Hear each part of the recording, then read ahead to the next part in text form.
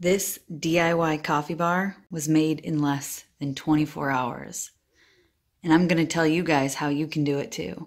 I'm Tessa with mamasgeeky.com.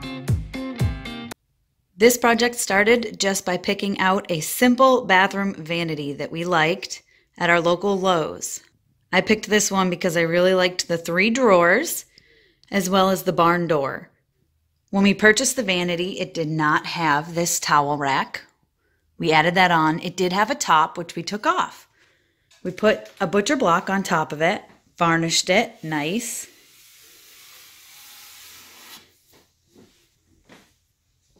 And just screwed it down.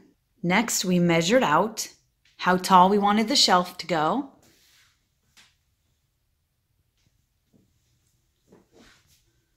We painted the sides to match the vanity that we purchased. We used the same block of wood that we used for the countertop for this shelf to make sure that they matched nicely. Then we installed these hooks, which we also purchased at Lowe's, on the top as well as on both sides.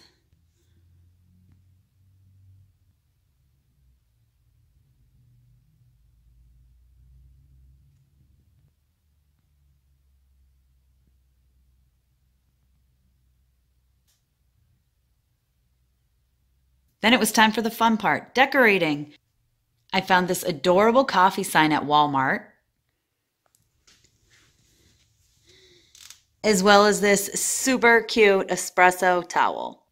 We set out our two coffee makers, as well as our hot water brewer, and decided which mugs were going to go on display where. Inside our drawers, we have K cups in the top drawer and towels in the bottom too.